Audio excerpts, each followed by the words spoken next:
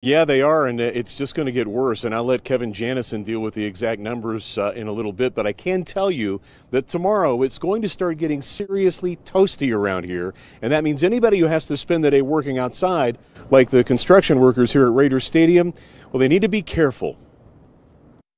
If you work construction in Las Vegas, you can work construction anywhere. That's because on a triple digit afternoon, whether it's putting down asphalt or walking around on scorching steel, the intense heat we'll see this week is as much a health hazard as anything on a construction site. Well, when you got workers on highway jobs and you got workers on the top of the stadium, so, you know, it's always about keeping the workers cool. Tommy White with the Laborers Union says they started getting prepared a couple of weeks ago with some cool construction bling. These go on the top of your hard hat, cross covering the back of your neck, again to keep your neck cool. And even something they'll try for the first time that's kind of like a popsicle. This is a neck cooler.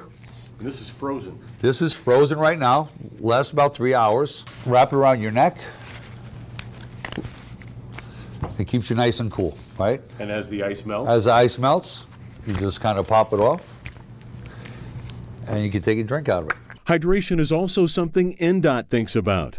What we do is we make sure that all the workers are properly hydrated uh, to the tune of going through 7,000 water bottles a day during the peak construction activity during the heat of summer. But NDOT has a love hate thing with the heat since it needs to be 80 degrees and rising for Pave-A-Palooza's rubber crumb asphalt. We stay in touch with the uh, meteorologists, the National Weather Service, keep tabs on the forecasts.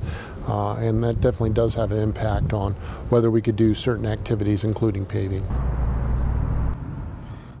So it's always a good idea to know the warning signs for heat stroke. They include dizziness, muscle cramps, vomiting, and a lack of sweat when it's hot outside. And uh, it's certainly going to be that way through the end of the week. And again, Kevin will have more on that for us. Reporting live from Raiders Stadium, Steve Wolford, News 3. Back to you. All right, Steve, thank you for that.